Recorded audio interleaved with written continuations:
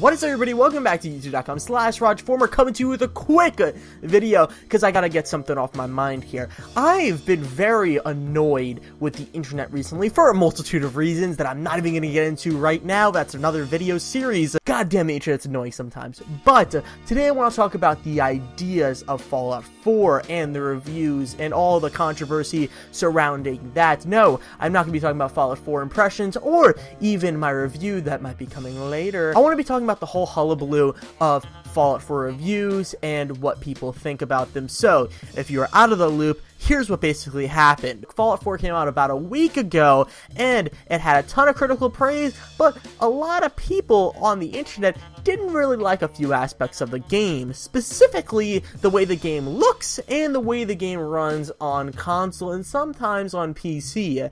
The game does have some dips down to below 30 frames per second, but mostly keeps an ideal 30 FPS, but on Xbox One, the game has these stutters or these points where the game just freezes, and then loads. So it drops to effectively 0 frames per second, basically just freezes and loads, but doesn't have the load symbol. And of course, there was already a debate about how the game looked at the E3 showing, and now the game pretty much looks the same, so people are mad about that, and this created a whole mess on the internet. People were yelling at reviewers saying, you gave this game a 9.5, yet you didn't even say anything really about how the game runs or how it looks, and that is bias because you like the game too much, you didn't even mention anything of that that. And then people that like the game were yelling at the people that didn't like the game about the graphics and how it ran. Like, oh, the game ran fine for me. You guys are just shallow.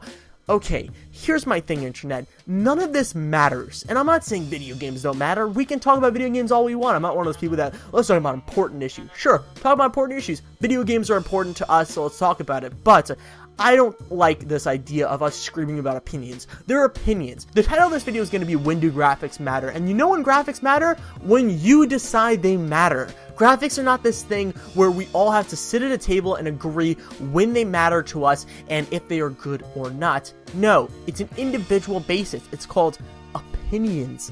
So, if you play a video game and you're like, hey, this game doesn't look amazing, this game doesn't run amazing, you have all the right, if you have an educated opinion, to go out there and say, I don't like this game because it doesn't look or run well. That's totally fine. And also, someone can go and say the same thing. They can be like, yeah, the game doesn't really run or look good, but I like the game and I looked past it. Those are two very valid opinions. I'll be the first one to acknowledge my bias right now. I've been playing this game for hours and I have not ran into one major bug or one major frame rate dip.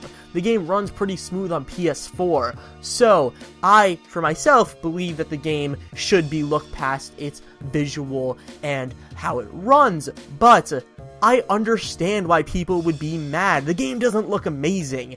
Fallout 4 is one of the biggest video games ever crafted in terms of how deep it is, how many things you can do in it, and the game just doesn't look that good. So, I understand both sides of it. So this whole video is just kind of made to say, hey, you know when graphics matter? When you decide they matter. So instead of fighting about it on the internet, just make up a decision and run with it. You don't have to yell at someone that gave the game an amazing score, thinks the game is amazing, and say, well, the graphics are bad. Sure, they're bad for you, but they might not be bad for someone else. We all have to realize opinions are subjective, and no matter if someone gave it an 8, 9, 10, it's their opinion and you can have one as well. Doesn't mean yours is lesser, or his is greater, or hers is greater. It's an opinion. Let's all sit down and realize that. And the faster we can realize that, we can stop screaming about it on the internet. Have a good day.